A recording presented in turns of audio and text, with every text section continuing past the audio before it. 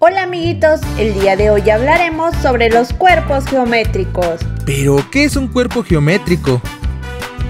Son figuras geométricas que tienen un lugar en el espacio y poseen tres dimensiones, alto, ancho y largo. ¿Conocen alguno?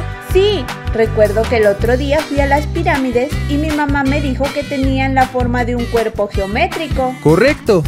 Hay muchos cuerpos geométricos como la pirámide, el cubo, la esfera, el cono y el prisma.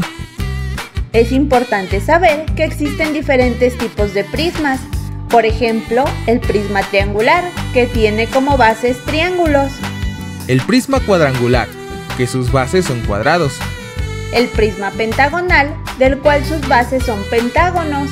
Y el prisma hexagonal, del cual sus bases son hexágonos. Existen dos tipos de cuerpos geométricos, unos son los poliedros y otros los cuerpos redondos. Los poliedros son cuerpos geométricos que tienen todas sus caras planas y se dividen en polígonos regulares y polígonos irregulares. Los polígonos regulares son aquellos que tienen todos sus lados iguales. Como el cubo, que está compuesto por seis caras que son cuadrados iguales. Y los polígonos irregulares son aquellos cuyas caras son polígonos que no son todos iguales. ¿Conocen alguno? Sí, la pirámide, pues el triángulo de su base es distinto a los demás. ¿Y cuáles son los cuerpos redondos? Son aquellos que tienen por lo menos una de sus caras curvadas. ¡Claro! Como la esfera. Sí, pero hay otros como el cilindro y el cono que su base es curviada. Ahora veamos, ¿a qué cuerpo geométrico se parece esta caja de regalo?